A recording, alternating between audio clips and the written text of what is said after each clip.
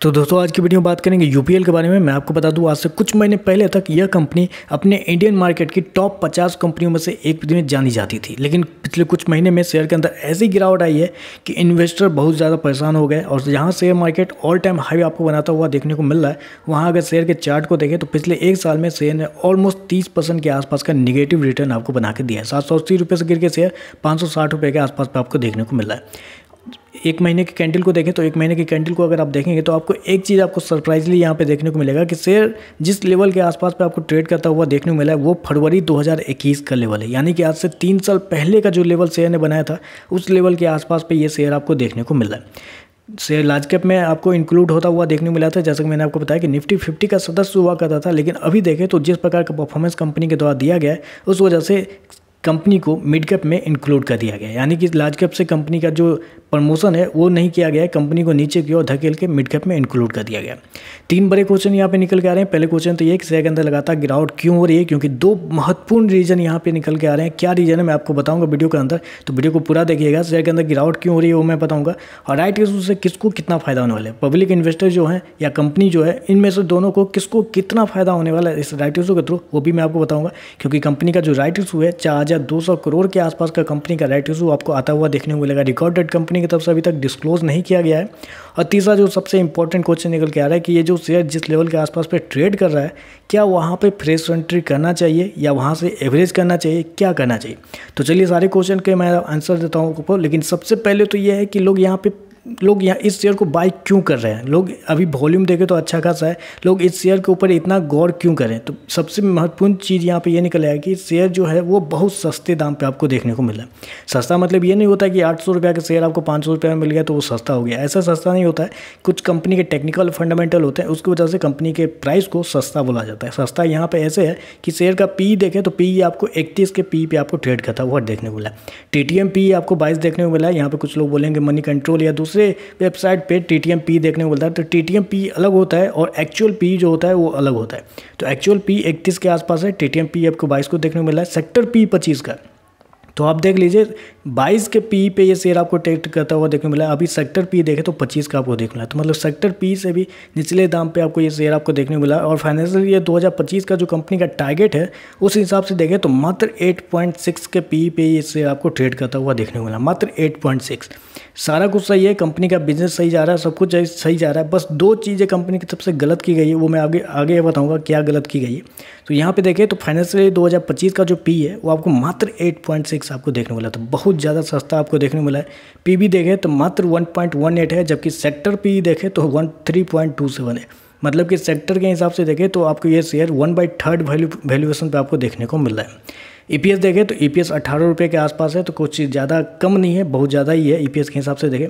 पिछले पाँच साल के परफॉर्मेंस को देखें तो रिवेन्यू रेट देखें तो कंपनी का सालाना देखें तो 25 परसेंट के आसपास पर ग्रोथ करता हुआ देखने मिला है, जबकि इंडस्ट्री का रिवेन्यू रेट मात्र 19 परसेंट है। जी हाँ मात्र 19 परसेंट के हिसाब से इंडस्ट्री बढ़ती हुई देखने मिले, लेकिन कंपनी का रिवेन्यू रेट पच्चीस परसेंट आपको बढ़ता हुआ देखने मिला जो कि एक बहुत अच्छी बात है।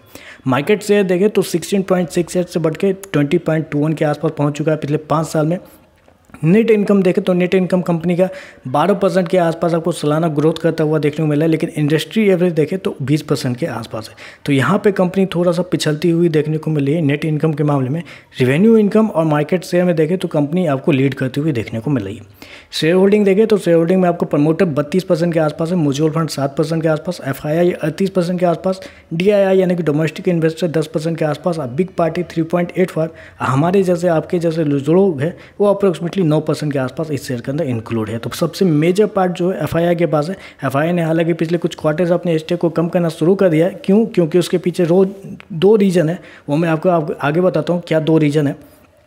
वही क्वेश्चन निकल के आते हैं। जब इतना सस्ता है शेयर सारा कुछ सही जा रहा है तो फिर समस्या कहाँ पे निकल आ रही प्रॉब्लम कहाँ पे निकल रही थी तो पहला प्रॉब्लम जो निकल के आ रहा है, वो तो है कंपनी का डेप्ट कंपनी के पास अप्रोक्सीमेटली बोल सके छब्बीस हज़ार दो सौ करोड़ के आसपास का कर्जे हैं। जी हाँ कंपनी के पास बहुत बड़े कर्जे हैं। छब्बीस हज़ार दो सौ करोड़ के आसपास। हालाँकि कंपनी ने इसके लिए एक और ऐलान भी किया है कि कंपनी कॉस्ट रिडक्शन करने जा रही है अगले 24 महीने तक। इस कोट कॉस्ट रिडक्शन के थ्रू अप्रोक्सीमेटली 8,304 करोड़ के आसपास कंपनी पैसे बचा लेगी। तो ये थोड़ा सा कंपनी के लिए रिलीफ हो सकता है। इसी बीच में कंपनी राइट इशू भी जारी कर दिया। इस राइट इशू के थ्रू बयालीस सौ करोड़ के आसपास का कंपनी फंड रेज करने जा रही है। तो हो सकता है कि इस बयालीस सौ करोड़ जो है तो टोटली कंपनी अपने डेप्ट को कम करने के ऊपर यूज़ कर सकती है। तो अगर इतना भी कंपनी करती है तो अप्रोक्सीमेटली बारह बारह हज़ार करोड़ के आसपास कम हो जाएगा कंपनी का डेप्ट ऑलमोस्ट पचास परसेंट के आसपास कंपनी का जो डेप्ट है, वो आपको कम होता हुआ देखने को मिला है। तो राइट इशू बेसिकली लाने का मकसद क्या होता है? तो राइट इशू लाने का बेसिकली एक ही मकसद होता है कि कंपनी को फंड अरेंज करना रहता है, फंड अरेंज आप दो तरीके से कर सकते हैं, या तो आप लोन लीजिए किसी के पास जाके, या किसी बड़े पार्टी से लोन लीजिए, किसी भी तरीके से लोन लीजिए, अब उसको इंटरेस्ट पे कीजिए। और यहाँ पे क्या होता है कि राइट इशू में आपको इंटरेस्ट पे नहीं करना पड़ता है, बस इन्वेस्टरों को थोड़े से शेयर दिए पड़ते हैं, और कंपनी का जो पैसे हैं, वो आपको अरेंज हो जाते हैं। तो इस वजह से कंपनी डेप्ट को कम करने के लिए राइट इशू लेके आ रही है, जिससे आपको भी फ़ायदा है कंपनी को भी फ़ायदा है, दोनों को फ़ायदा है। तो इस वजह से कंपनी का जो डेप्ट है, वो आपको हो सकता है कि 50 परसेंट के आसपास कम होता हुआ देखने को मिले अगले 24 महीने के अंदर। फाइनेंशियल फाइनेंशियल की बात कर लेते हैं क्योंकि यहाँ पर सबसे बड़ा जो उलटफेर है, आपको यहाँ पर देखने को मिल रहा है। शेयर के अंदर जो गिरावट है टोटली इसके ऊपर डिपेंड है। मैं हमेशा बताता हूँ कि आप कभी भी किसी भी शेयर के अंदर गिरावट आती है तो सबसे पहले आप न्यूज़ मत देखिए, सबसे पहले जाके कंपनी के रिवेन्यू कंपनी के प्रॉफिट को देखिए कंपनी के फाइनेंशियल को देखिए, उससे आपको पूरा आइडिया मिल जाएगा कि कंपनी के शेयर के अंदर गिरावट क्यों हो रही है गिरावट तेज़ी हो रही है तो वो क्यों हो रही है। क्योंकि देखिए, अभी अभी आने वाले हैं हमारे क्वार्टर थ्री के नंबर क्वार्टर थ्री के नंबर मतलब दिसंबर 2023 के जो नंबर है, वो कंपनी के द्वारा डिस्क्लोज किए जाएँगे और हम कंपेयर किससे करेंगे? साल दर साल करेंगे। साल दर साल करेंगे तो हम क्या करेंगे? दिसंबर 2022 के नंबर के साथ कंपेयर करेंगे। अभी पिछले ही महीने में, पिछले ही क्वार्टर में कंपनी ने नब्बे करोड़ के आसपास का लॉस आपको दिखाया था और पिछले साल 1326 करोड़ का प्रॉफिट था कंपनी को। तो इस क्वार्टर में कंपनी को 1326 करोड़ से ऊपर का प्रॉफिट दिखाना होगा। क्या पॉसिबल है क्या? बिल्कुल नहीं पॉसिबल है, क्योंकि पिछले पाँच क्वार्टर के जो नंबर है, उसको अगर देखें तो कंपनी का परफॉर्मेंस बहुत ज़्यादा गिरता हुआ आपको देखने को मिल रहा है। तो इस हिसाब से तेरह सौ छब्बीस करोड़ तो बहुत दूर वाली बात है। मतलब अगर कंपनी तीन सौ चार सौ करोड़ भी पार कर लेती है अपने प्रॉफिट के अंदर तो वो एक बड़ा अचीवमेंट होगा कंपनी के लिए। तेरह सौ छब्बीस करोड़ तो मेरे हिसाब से कुछ नियर टर्म भी आपको देखने को नहीं मिल सकता है। रिवेन्यू देखें तो तेरह हज़ार छः सौ उनासी करोड़ रिवेन्यू भी उसके आसपास जाता हुआ बहुत रेयर है कि आपको देखने को मिले। तो रिवेन्यू और प्रॉफिट अगर साल दर साल देखेंगे तो जिस ये जो क्वार्टरली रिज़ल्ट आने वाला है कंपनी का, आपको गिरता हुआ देखने को मिलेगा। तो इस वजह से मुझे लगता है कि साल दर साल वाली जो परफॉर्मेंस है, वो तो आपको गिरता हुआ देखने को मिला है, ये तो श्योर शॉर्ट है।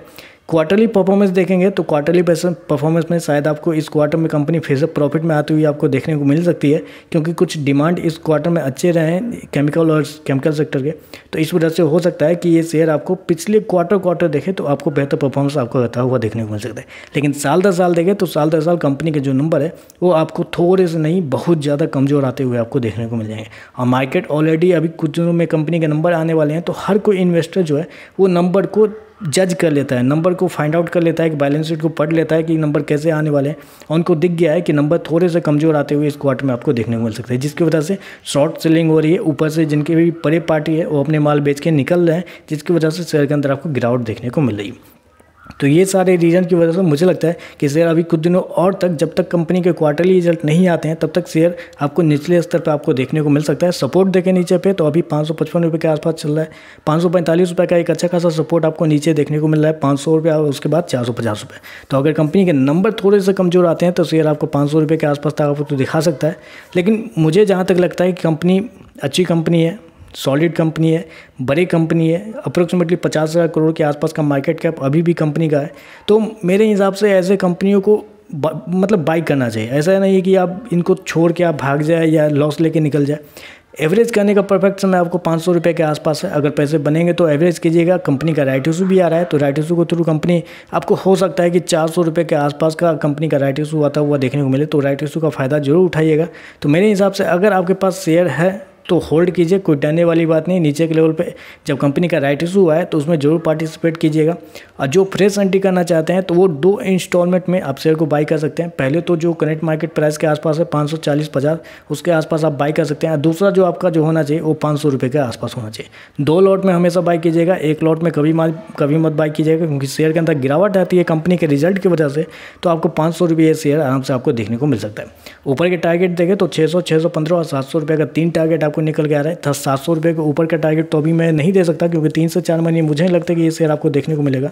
जब तक कंपनी के नंबर और राइट इशू पूरी तरीके से आ नहीं जाते हैं, उसके बाद कंपनी के जो ऊपर है कंपनी के टारगेट के ऊपर कमेंट करना सही रहेगा। अभी देखें तो मेरे हिसाब से छः सौ छः सौ पंद्रह का जो टारगेट है, वो आपको देखने को मिल सकता है, अगर सब कुछ सही गया कंपनी के अंदर तो। तो चलिए बस आज के लिए बस इतना ही, वीडियो पसंद आए तो लाइक कीजिएगा, साथ में साथ चैनल को सब्सक्राइब ज़रूर कीजिएगा। धन्यवाद।